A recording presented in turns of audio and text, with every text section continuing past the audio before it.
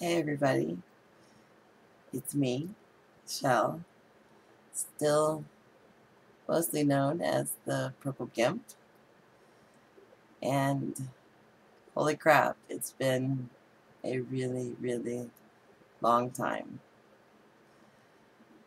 I, gosh, I really don't even know where to start. So much has happened since um, gosh, episode 7. So that would make this uh, episode number 8 in my disability video blog series.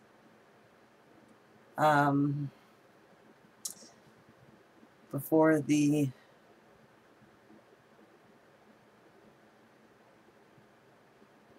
I don't even know what to call it. Before um, my hamster wheel just kind of fell apart altogether. Um, as some of you who watched my earlier episodes may remember, um, I was down to 13 teeth because of the Sjogren's disease. And was suffering from excruciating and life-threatening bone marrow infections um, in my jaw because of the repeated untreated oral infections and my teeth were shattering like glass. And um, even with being blessed with insurance uh, my insurance company didn't want to cover my surgery, even though I, I met all of the qualifying conditions. And I continued to get sicker and sicker, battling it out with them um, to try and, and get some care. And interviewed uh, quite a few doctors uh, along the way to discuss the, the various options uh, available to me. And the general consensus was that I needed a full mouth extraction and grafts into my upper and lower jaw on both sides to strengthen the bone so that I could receive dental implants and it was truly a, a, a nightmare process and a huge blow to my self-confidence and self-esteem. I had to learn how to talk differently so that people couldn't see how many broken teeth that I had and learned not to show my teeth when I smiled and covered my mouth when I laughed and just generally felt really disgusting. And so, uh, to make a long story short, um, my father uh, was kind enough to step in um, when things got really, really scary and offered to pay for my surgery, which at, at that point was about $55,000 to have my teeth extracted, have my own bone used to graft in to the implant sites all the way through my upper and lower jaw. Um, and then to have uh, implants reconstructed from uh, pictures of my old smile before I got sick years ago so that the teeth, new teeth, would look like my old teeth used to look. So, uh, little over a, a year, year and a half ago, I found a wonderful prosthodontist and oral surgeon who were a team here together.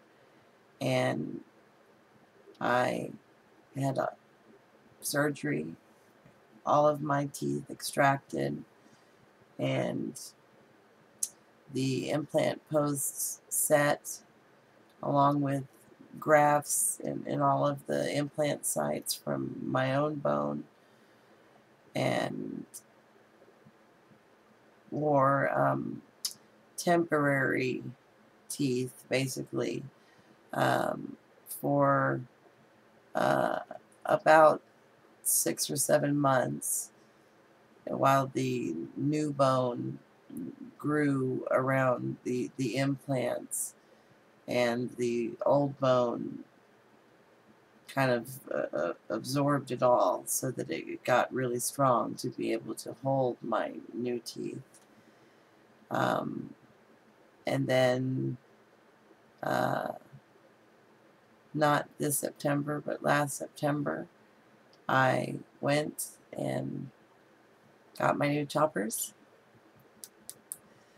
And I can eat apples now and carrots. Um, I can smile again and laugh again without feeling self-conscious. Um, and I had to relearn how to do all of those things because I had spent so many years training myself not to. So that was really huge. And um, I'm, I'm super grateful that that aspect of my medical challenges is finally laid to rest. It, it was a was and is still another whole blow to be 41 years old and have all of your teeth yanked out.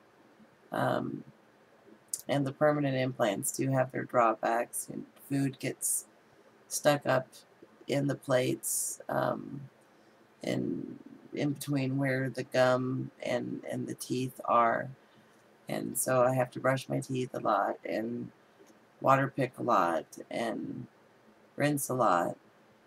Um, but it's certainly a thousand times better than the nightmare that I was living with before.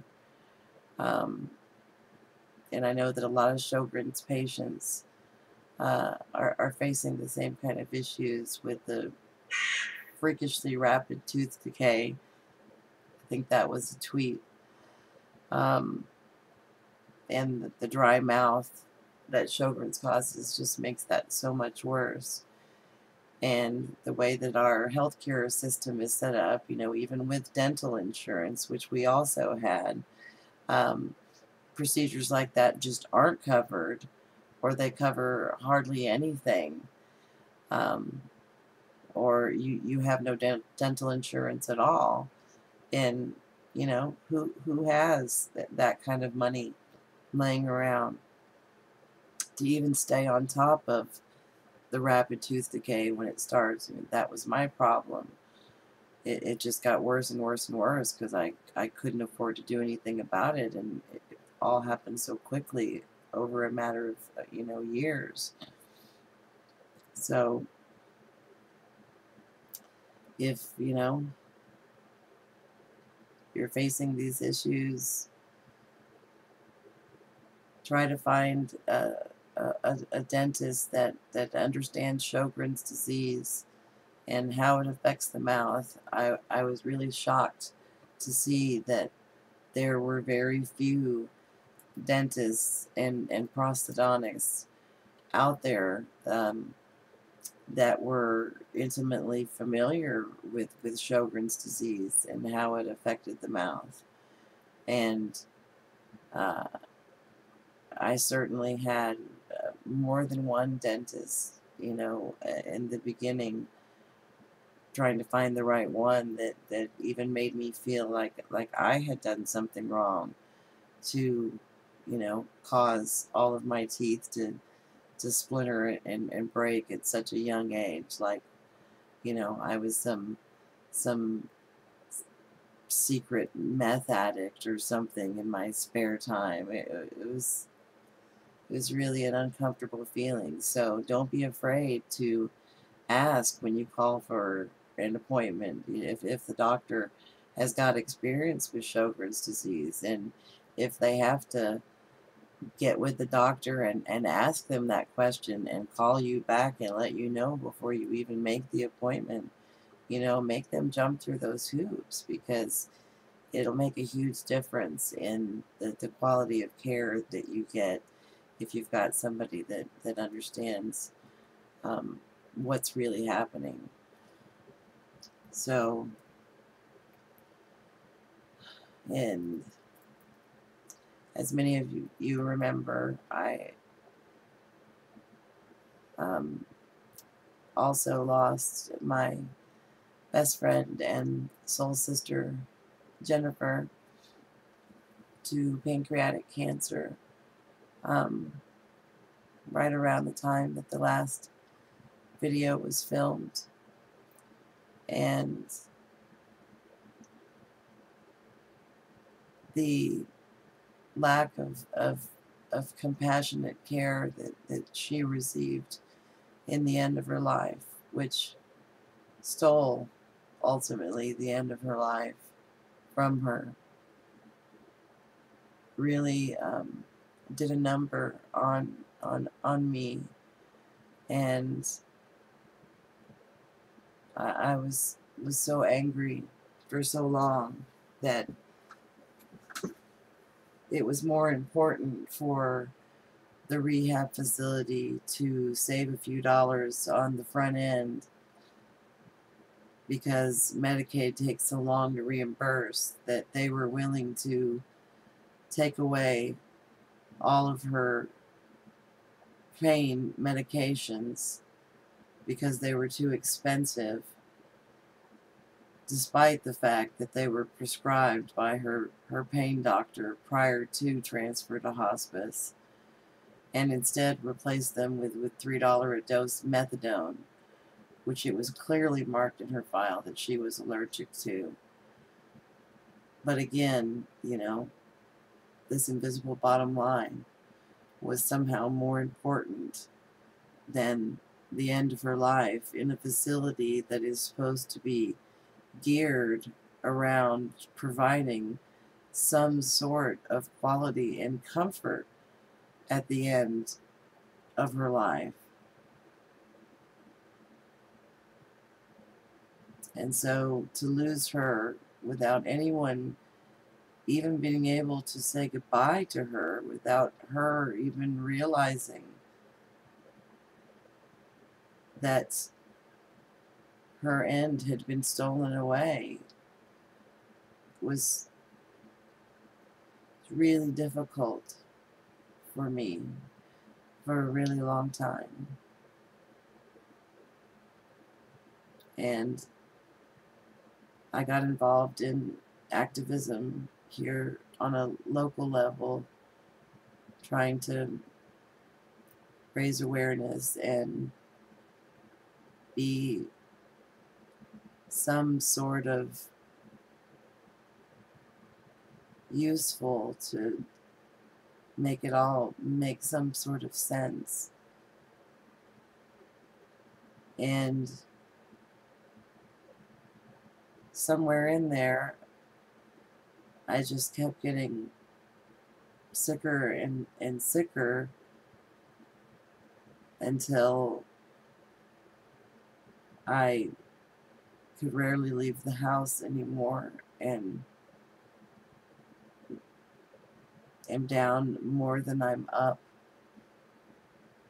I'm seeing some new doctors and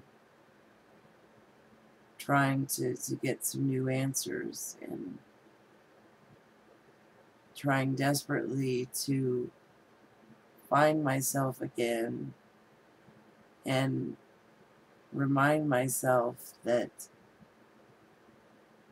I have things still to give and that I do matter. And there is a point to all of this, even if it doesn't make sense to me right now. And I want to thank those of you that wrote me letters and posted me comments on my videos asking where I was and just remembering that I existed and sharing your own stories with me and letting me know how hearing my story affected all of you. Words can't express how much all of that meant to me. Anthony and, and Morgan and everybody else. That was wonderful to know that at least on some level I was able to, to reach out to where you are and remind you that you're not alone. That we're all we're all fighting this battle together. And it really sucks. But we all still have value. And we all still matter. And sometimes just being reminded of that is everything. So, thank you for your support and thank you for your views and thank you for encouraging me to come back despite the trolls and the some of the hateful comments and um, observations that I've received. I wouldn't be sitting here again now if it wasn't for all of you. So thanks for giving me the strength to put myself out there again and talk about all of the things that we as patients, as fighters, as survivors, as people have to deal with because our illnesses may be invisible to a lot of the people around us, but they're not invisible to us. And so many people in our lives can say that they understand, but unless you've lived it, you can't really understand. And so many of us, even myself, work so hard to hide so much of our pain and our sickness from the people that love us because we don't want to be a drain and we don't want to be the one that complains all the time and so we hide it and we stuff it and stuff it and stuff it and keep going and keep going and keep going and it's good to have somewhere that you can let it out and not be judged and let it out and be understood. And I'm glad I'm back. So I'll be talking about applying for disability and, and how that process works. Uh, I went through that roller coaster ride myself, and it's a super frustrating, long, drawn out, bureaucratic, amazingly crappy process. But um, it can be done, and I've gotten a few uh, letters in my absence asking uh, how how people go about filing disability and what the process is like and what you can do to speed things along and what some of these things mean um, when they happen during the process. So uh, I'll be talking about that in upcoming episodes and also want to touch on the the epidemic of untreated chronic pain patients, um, not just in our country, but um, in other countries around the world, and, and the stigma that's that's become attached to um, managing chronic chronic pain. So I've got lots of things to share, and I appreciate each and every one of you um, sharing your time with me. And wherever you are, just remember that you're still not alone. So, thanks again, and I look forward to seeing you all again soon. Bye.